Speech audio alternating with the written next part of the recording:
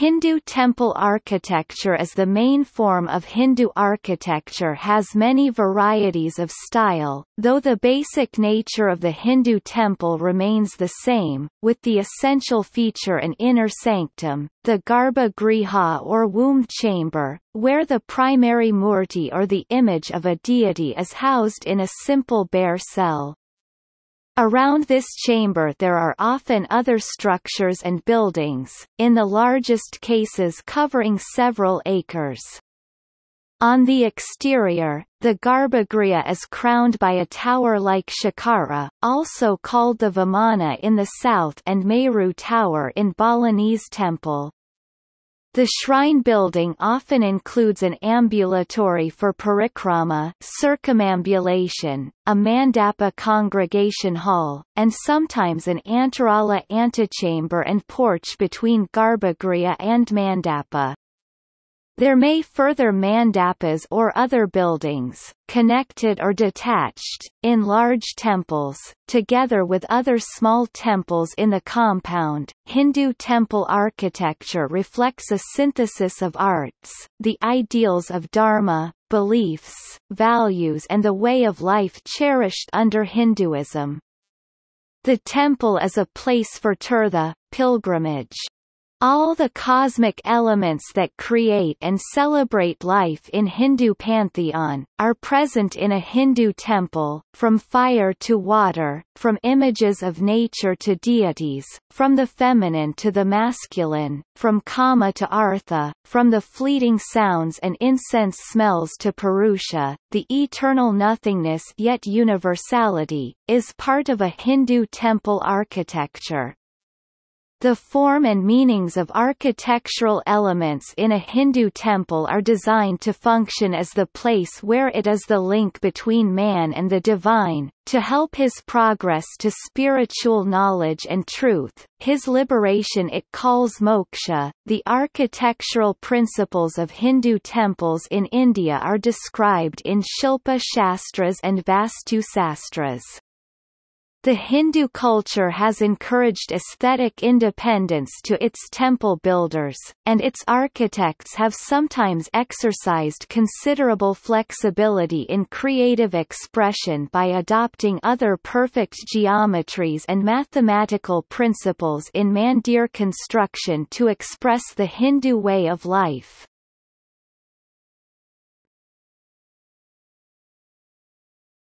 Topic History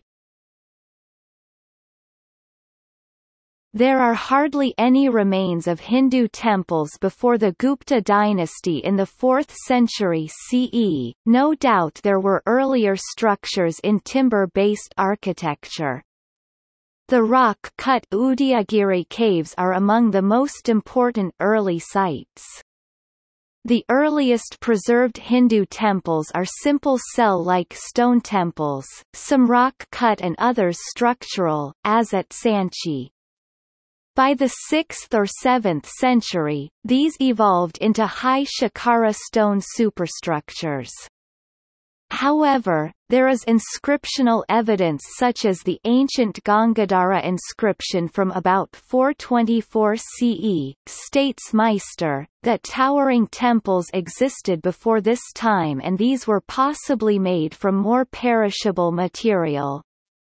These temples have not survived. Examples of early major North Indian temples that have survived after the Udayagiri caves in Madhya Pradesh include Deogarh, Parvati Temple, Nachna 465 CE, Lalitpur District c.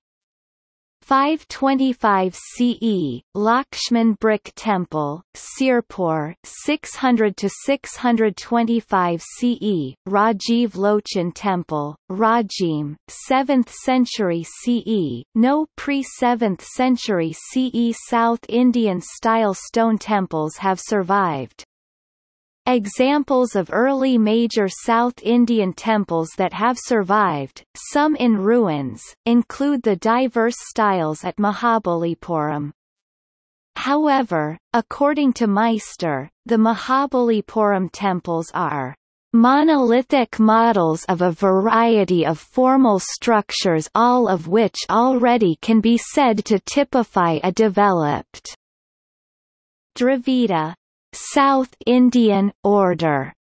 They suggest a tradition and a knowledge base existed in South India by the time of the early Chalukya and Pallava era when these were built. Other examples are found in Aihole and Pattadakal. By about the 7th century most main features of the Hindu temple were established along with theoretical texts on temple architecture and building methods.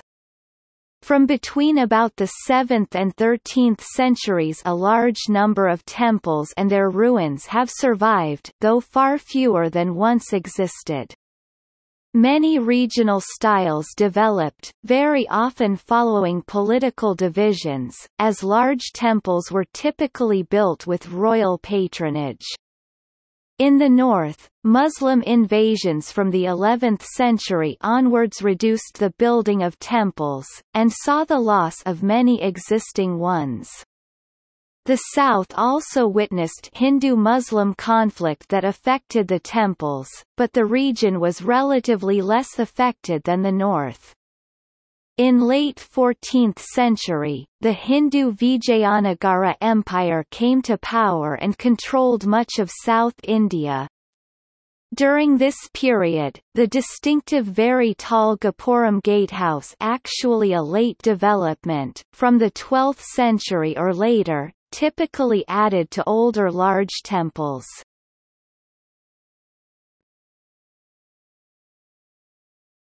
Topic: Southeast Asian Hindu temples. The cultural sphere often called Greater India extended into Southeast Asia. The earliest evidence trace to Sanskrit stone inscriptions found on the islands and the mainland Southeast Asia, dated between the 4th and 5th century CE. Prior to the 14th century local versions of Hindu temples were built in Myanmar, Malaysia, Indonesia, Thailand, Cambodia, Laos and Vietnam.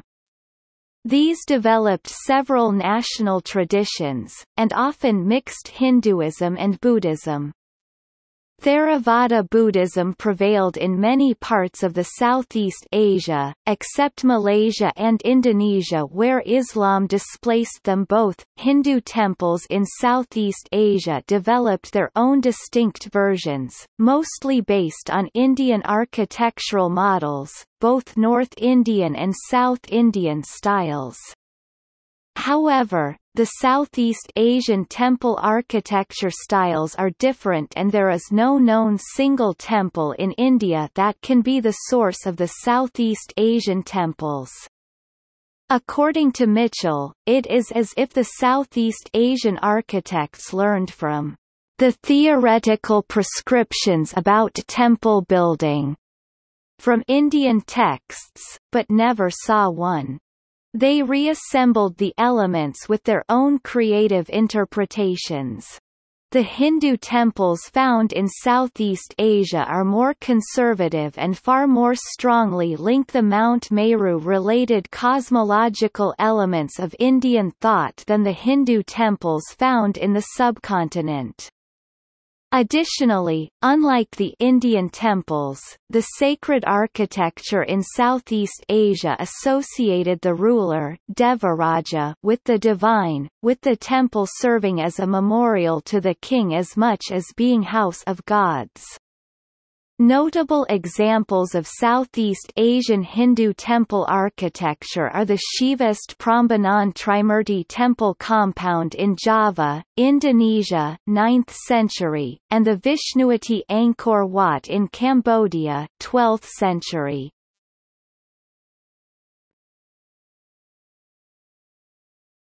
Topic. Design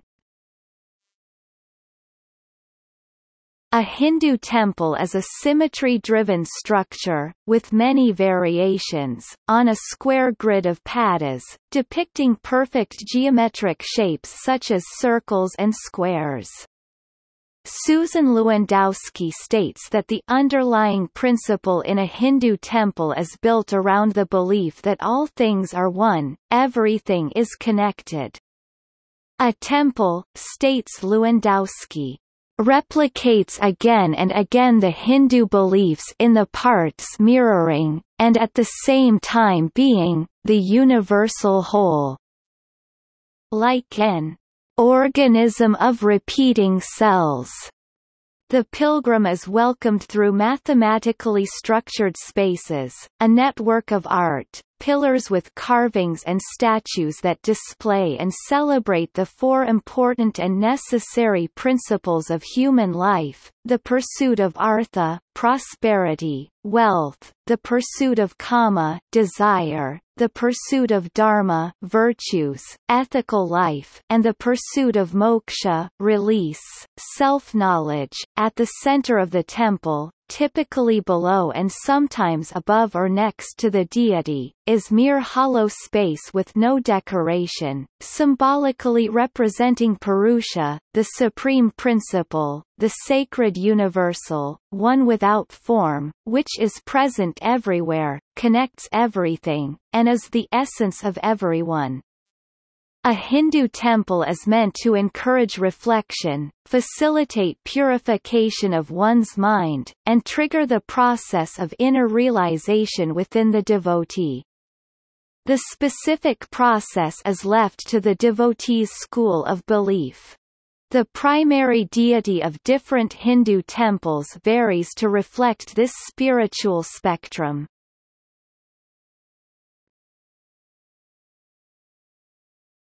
Topic: The site.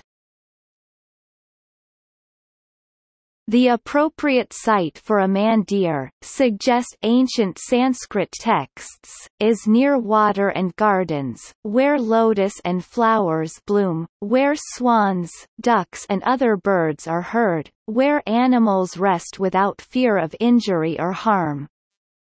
These harmonious places were recommended in these texts with the explanation that such are the places where gods play, and thus the best site for Hindu temples, while major Hindu mandirs are recommended at sangams, confluence of rivers, river banks, lakes and seashore. The Brihat Samhita and Puranas suggest temples may also be built where a natural source of water is not present.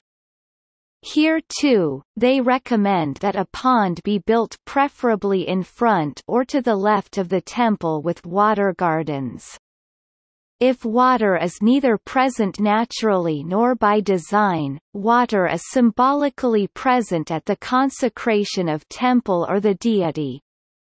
Temples may also be built, suggests Visnudharmottara in Part 3 of Chapter 93, inside caves and carved stones, on hilltops affording peaceful views, mountain slopes overlooking beautiful valleys, inside forests and hermitages, next to gardens, or at the head of a town street. In practice most temples are built as part of a village or town. Some sites such as capitals of kingdoms and those considered particularly sacred geography had numerous temples.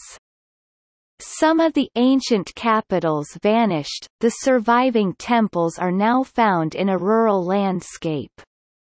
Aihole, Badami, Pattadakal and Gangaikonda Cholapuram are examples.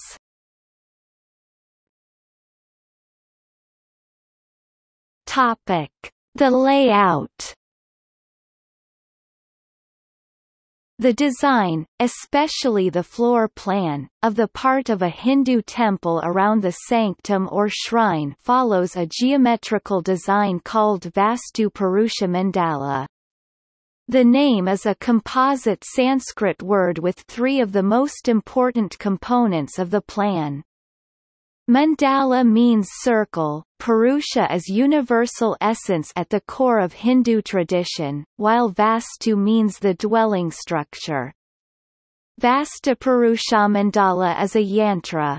The design lays out a Hindu temple in a symmetrical, self-repeating structure derived from central beliefs, myths, cardinality and mathematical principles. The four cardinal directions help create the axis of a Hindu temple, around which is formed a perfect square in the space available. The circle of mandala circumscribes the square. The square is considered divine for its perfection and as a symbolic product of knowledge and human thought, while circle is considered earthly, human and observed in everyday life moon, sun, horizon, water drop, rainbow. Each supports the other. The square is divided into perfect square grids. In large temples, this is often a 8 by 8 or 64 grid structure. In ceremonial temple superstructures, this is an 81 sub-square grid. The squares are called padas. The square is symbolic and has Vedic origins from fire altar, Agni, the alignment along cardinal direction, similarly is an extension of Vedic rituals of three fires. This symbolism is also found among Greek and other ancient civilizations, through the gnomon. In Hindu temple manuals, design plans are described with 1, 4, 9, 16, 25, 36, 49, 64, 81 up to 1024 squares. One pada is considered the simplest plan, as a seat for a hermit or devotee to sit and meditate on, do yoga, or make offerings with Vedic fire in front. The second design of four padas has a symbolic central core at the diagonal intersection, and is also a meditative layout. The nine-pada design has a sacred surrounded center, and is the template for the smallest temple. Older Hindu temple vastumandalas may use the 9 through 49 pada series, but 64 is considered the most sacred geometric grid in Hindu temples. It is also called Manduka, Bakapada or Ahira in various ancient Sanskrit texts. Each pada is conceptually assigned to a symbolic element, sometimes in the form of a deity or to a spirit or apsara. The central squares of the 64 is dedicated to the Brahman, not to be confused with Brahmin, and are called Brahma padas. In a Hindu temple's structure of symmetry and concentric squares, each concentric layer has significance. The outermost layer, Paisachika padas, signify aspects of asuras and evil, the next inner concentric layer is Manusha padas signifying human life, while Devika padas signify aspects of devas and good. The Manusha padas typically houses the ambulatory, the devotees, as they walk around in clockwise fashion through this ambulatory to complete parikrama or pradakshina, walk between good on inner side and evil on the outer side. In smaller temples, the Paisachika pada is not part of the temple superstructure, but may be on the boundary of the temple or just symbolically represented. The Paisachika padas, Manusha padas and Devika padas surround Brahma padas, which signifies creative energy and serves as the location for temple's primary idol for darsana.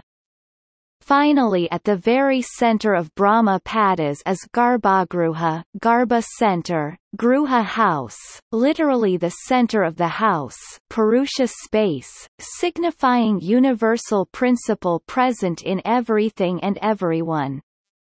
The spire of a Hindu temple, called Shikara in North India and Vimana in South India, is perfectly aligned above the Brahma Padas.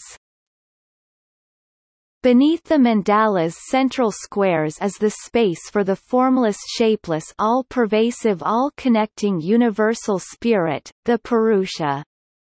This space is sometimes referred to as Garbha literally womb house, a small, perfect square, windowless, enclosed space without ornamentation that represents universal essence.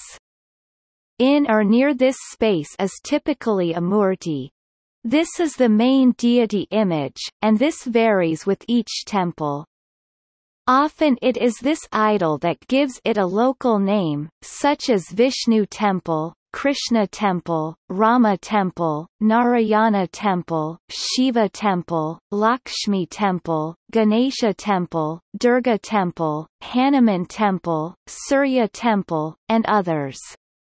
It is this Garbhagriha which devotees seek for darsana literally, a sight of knowledge, or vision. Above the Vastu Purusha Mandala is a high superstructure called the Shikara in North India, and Vimana in South India, that stretches towards the sky. Sometimes, in makeshift temples, the superstructure may be replaced with symbolic bamboo with few leaves at the top. The vertical dimensions cupola or dome is designed as a pyramid, conical or other mountain-like shape, once again using principle of concentric circles and squares see below. Scholars such as Lewandowski state that this shape is inspired by cosmic mountain of Mount Meru or Himalayan Kailasa, the abode of gods according to its ancient mythology. In larger temples, the outer three padas are visually decorated with carvings, paintings or images meant to inspire the devotee. In some temples, these images or wall reliefs may be stories from Hindu epics, in others they may be Vedic tales about right and wrong or virtues and vice, in some they may be idols of minor or regional deities. The pillars, walls and ceilings typically also have highly ornate carvings or images of the four just and necessary pursuits of life, Kama, Artha, Dharma and Moksha. This walk around is called pradakshina. Large temples also have pillared halls called mandapa. One on the east side, serves as the waiting room for pilgrims and devotees. The mandapa may be a separate structure in older temples, but in newer temples this space is integrated into the temple superstructure. Mega temple sites have a main temple surrounded by smaller temples and shrines, but these are still arranged by principles of symmetry, grids and mathematical precision. An important principle found in the layout of Hindu temples is mirroring and repeating fractal-like design structure, each unique yet also repeating the central common principle, one which Susan Lewandowski refers to as an organism of repeating cells. Exceptions to the square grid principle predominant number of Hindu temples exhibit the perfect square grid principle, However, there are some exceptions. For example, the Teli Ka Mandir in Gwalior, built in the 8th century CE is not a square but is a rectangle consisting of stacked squares. Further, the temple explores a number of structures and shrines in 1 to 1, 1 to 2, 1 to 3, 2 to 5, 3 to 5 and 4 to 5 ratios. These ratios are exact, suggesting the architect intended to use these harmonic ratios, and the rectangle pattern was not a mistake, nor an arbitrary approximation. Other examples of non-square harmonic ratios are found at Naresar temple site of Madhya Pradesh and Nakhti Mata temple near Jaipur, Rajasthan. Michael Meister states that these exceptions mean the ancient Sanskrit manuals for temple building were guidelines, and Hinduism permitted its artisans flexibility in expression and aesthetic independence. The Hindu text Sthapatya Veda describes many plans and styles of temples of which the following are found in other derivative literature: Chaturasra square, Ashtasra octagonal, Vrita circular, Ayatasra rectangular, Ayata Ashtasra rectangular octagonal fusion, Ayata Vrita elliptical, Hasti Prishta apsidal, Dvayasra v rectangular circular fusion. In Tamil literature, the Pranavikara shaped like a Tamil Om sign, is also found. Methods of combining squares and circles to produce all of these plans are described in the Hindu texts.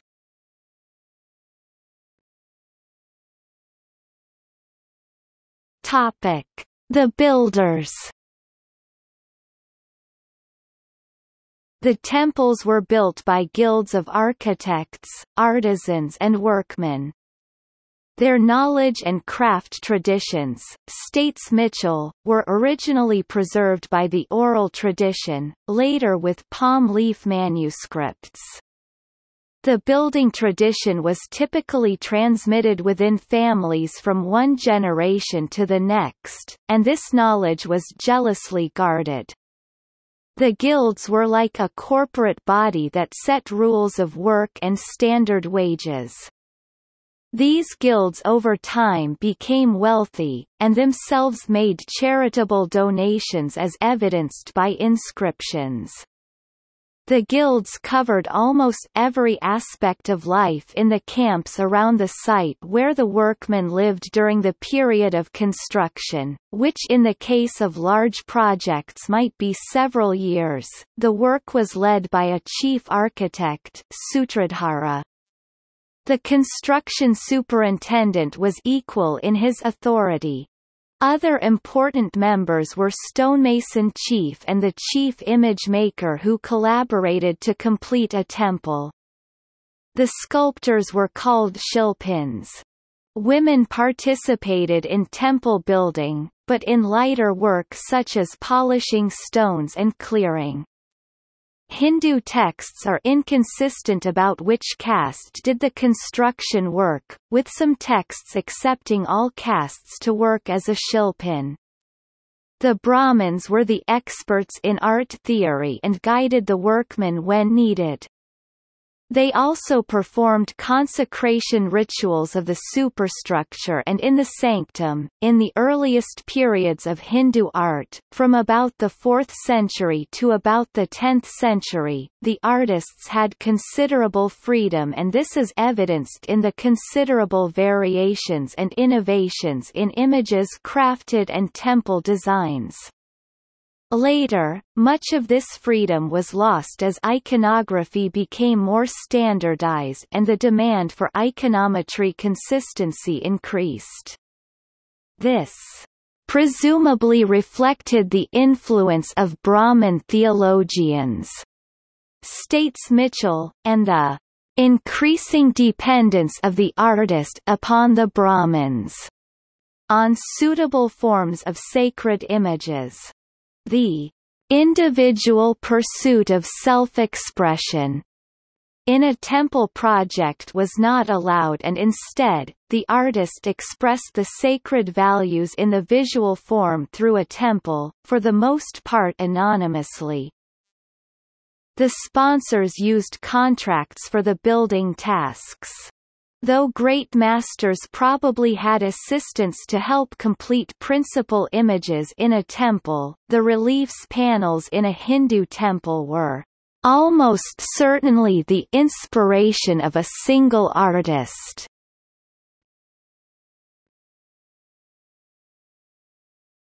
Topic: Schools of temple building tradition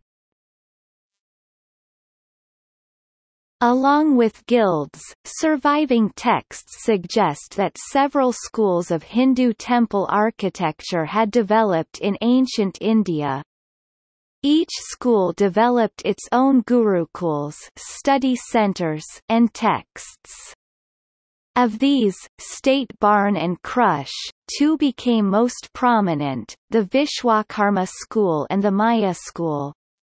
The Vishwakarma school is credited with treatises, terminology and innovations related to the Nagara style of architecture, while the Maya school with those related to the Dravida style. The style now called Vesara bridges and combines elements of the Nagara and the Dravida styles. It probably reflects one of the other extinct schools. Some scholars have questioned the relevance of these texts, whether the artists relied on Silpa Sastra's theory and Sanskrit construction manuals probably written by Brahmins, and did these treatises precede or follow the big temples and ancient sculptures therein. Other scholars question whether big temples and complex symmetric architecture or sculpture with consistent themes and common iconography across distant sites, over many centuries, could have been built by artists and architects without adequate theory, shared terminology and tools, and if so how. According to Adam Hardy, an architecture historian and professor of Asian architecture, the truth must lie somewhere in between. According to George Michell, an art historian and professor specializing in Hindu architecture, the theory and the creative field practice likely co-evolved, and the construction workers and artists building complex temples likely consulted the theoreticians when they needed to.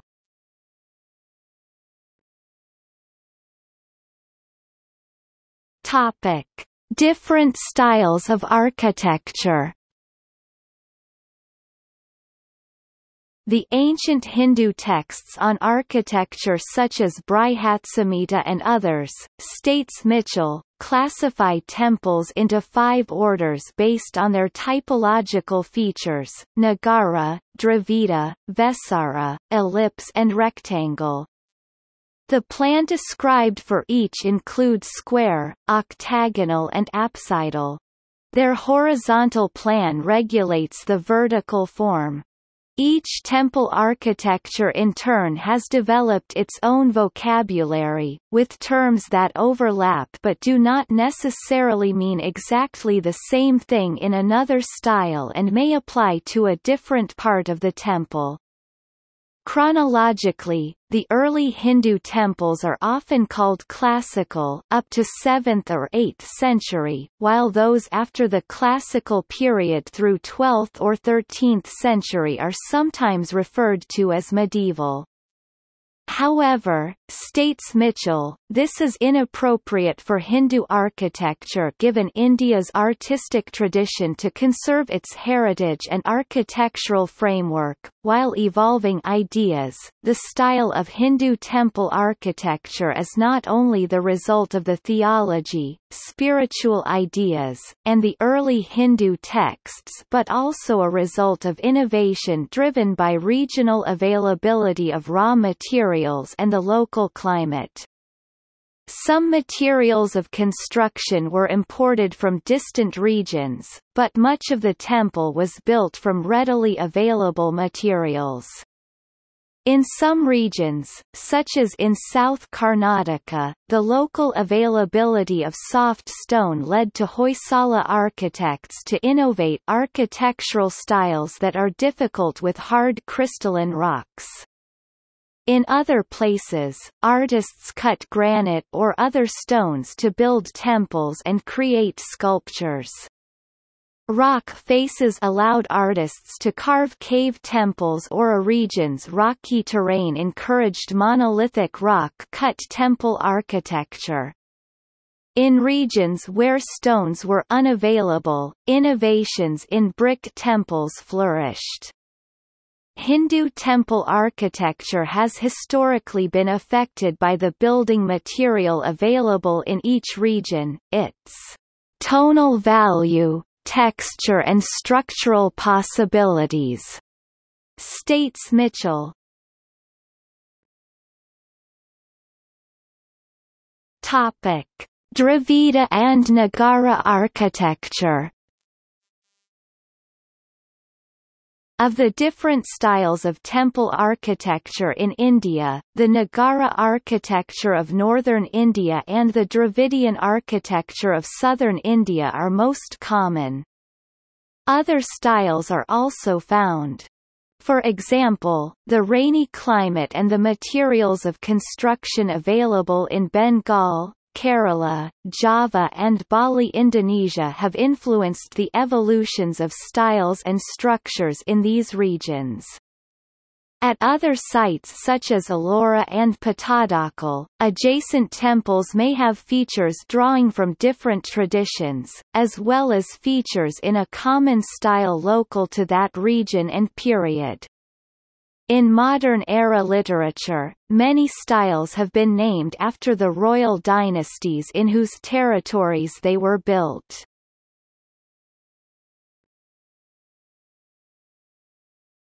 Topic: Regional styles.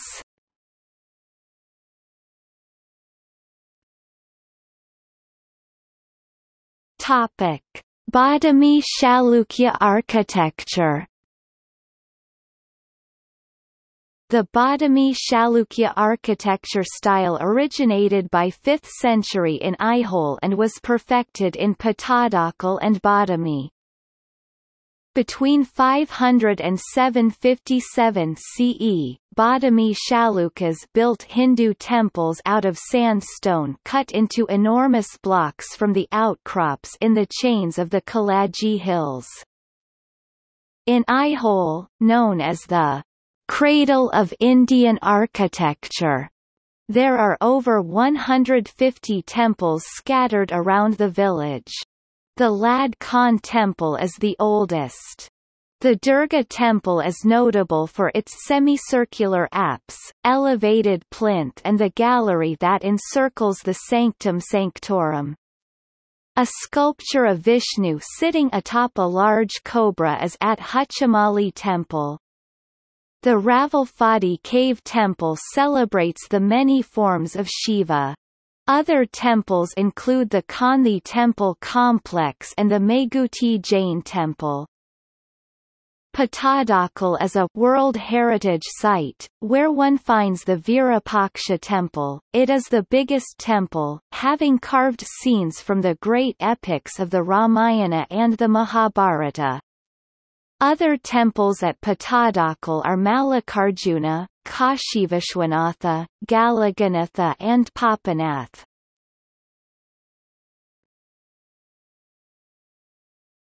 Topic: Gadag architecture. The Gadag style of architecture is also called Western Chalukya architecture. The style flourished for 150 years 1050 to 1200 CE. In this period, about 50 temples were built. Some examples are the Saraswati Temple in the Trikuteshwara Temple complex at Gadag, the Dadabasappa Temple at Dambal, the Kasivisvesvara Temple at Lakkundi, and the Amriteshwara Temple at Annigeri, which is marked by ornate pillars with intricate sculpture. This style originated during the period of the Kalyani Chalukyas also known as Western Chalukya Someshwara I. Gadag, Western Chalukya style architecture of temples Topic. Kalinga architecture The design which flourished in eastern Indian state of Odisha and northern Andhra Pradesh are called Kalinga style of architecture. The style consists of three distinct type of temples namely Rekha Deula, Pidha Deula and Khakhara Deula. Deula means temple in the local language. The former two are associated with Vishnu, Surya and Shiva temple while the third is mainly with Chamunda and Durga temples. The Rekha Deula and Khakhara Deula houses the sanctum sanctorum while the Pidha Deula constitutes outer dancing and offering halls. The prominent examples of Rekha Deula are Lingaraj Temple of Bhubaneswar and Jagannath Temple of Puri. One of the prominent example of Khakhara Deula is Vaital Deula. The Konark Sun Temple is a living example of Pidha Deula.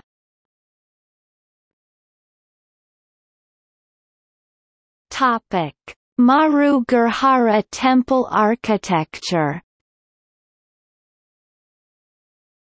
Maru Gurjara temple architecture originated somewhere in the 6th century in and around areas of Rajasthan.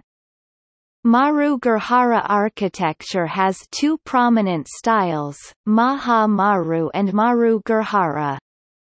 According to Madhusudan Dhaky, Maha Maru style developed primarily in Marudesa, Sapadalaksha, Surasena and parts of Uparamala whereas Maru Gurjara originated in Medapata, Gurjaradesa Arbuda, Gurjaradesa Anarta and some areas of Gujarat. Scholars such as George Michell, Dhaky, Michael W. Meister and U. S. Moorti believe that Maru Gurjara temple architecture is entirely Western Indian architecture and is quite different from the North Indian temple architecture. There is a connecting link between Maru Gurjara architecture and Hoysala temple architecture. In both of these styles architecture is treated sculpturally.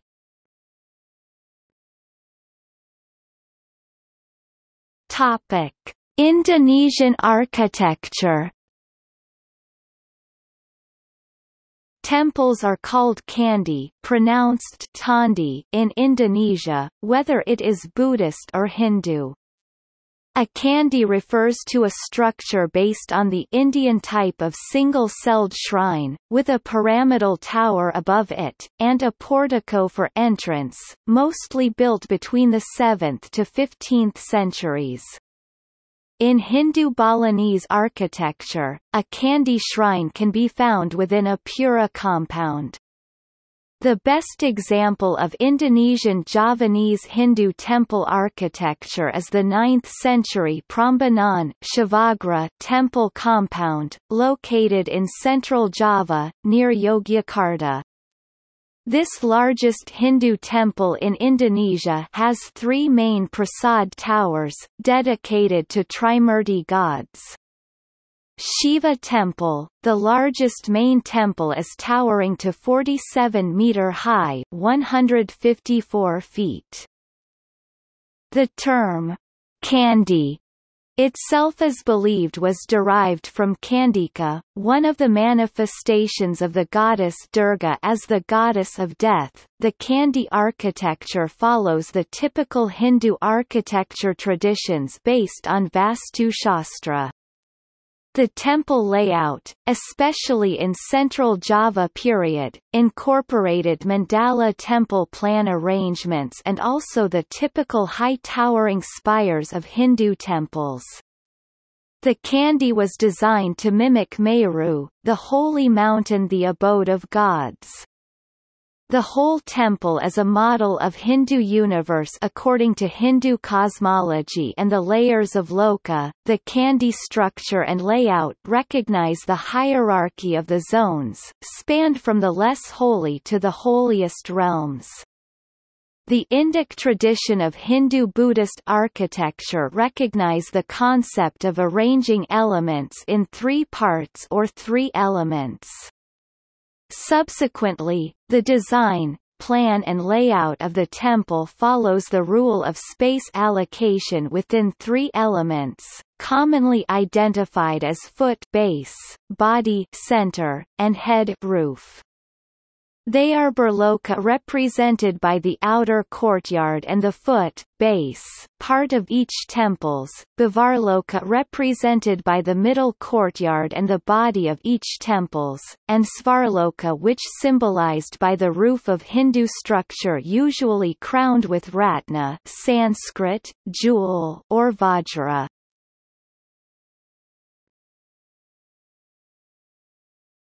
Topic Khmer architecture Before the 14th century, the Khmer Empire flourished in present-day Cambodia with its influence extended to most of mainland Southeast Asia. Its great capital, Angkor, Khmer, capital city, derived from Sanskrit, Nagara, contains some of the most important and the most magnificent example of Khmer temple architecture. The classic style of Angkorian temple is demonstrated by the 12th-century Angkor Wat. Angkorian builders mainly used sandstone and laterite as temple building materials. The main superstructure of typical Khmer temple is a towering prasat called prang which houses the Garbhagriha inner chamber, where the murti of Vishnu or Shiva, or a lingam resides. Khmer temples were typically enclosed by a concentric series of walls, with the central sanctuary in the middle. This arrangement represented the mountain ranges surrounding Mount Meru, the mythical home of the gods. Enclosures are the spaces between these walls, and between the innermost wall and the temple itself. The walls defining the enclosures of Khmer temples are frequently lined by galleries, while passage through the walls is by way of gopuras located at the cardinal points. The main entrance usually adorned with elevated causeway with cruciform terrace.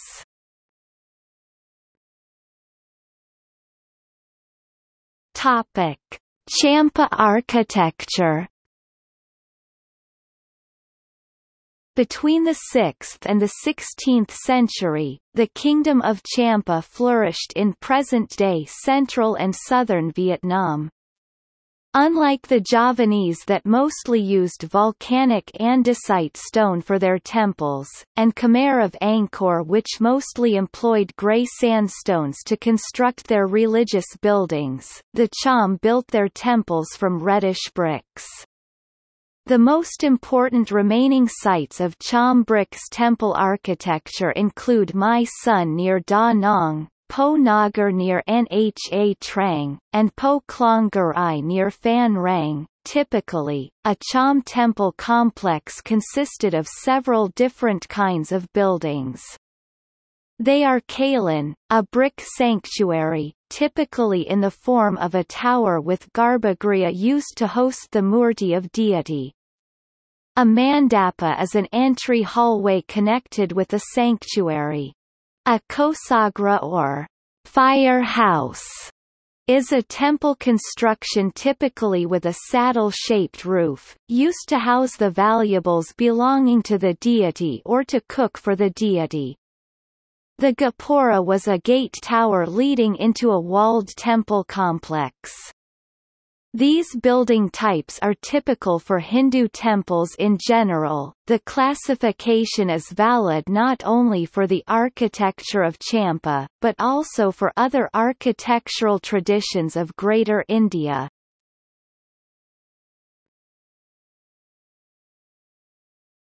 Topic: Glossary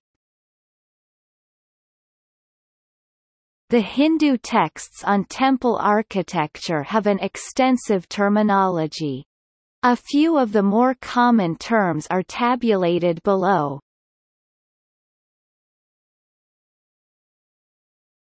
Topic Gallery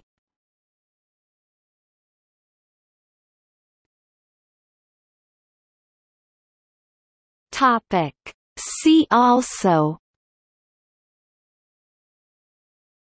Hindu architecture. Vastu Shastra. Shilpa Shastras. Temple tank. Vedic altars. Indian architecture. Hoysala architecture. Western Chalukya architecture, Gadag style of architecture. Chola art Indonesian architecture, Candi of Indonesia. Rock-cut architecture. Indian rock-cut architecture. Architecture of Angkor. Hemadpanthi architecture style. Dwajasthambam, flag staff. Equals equals notes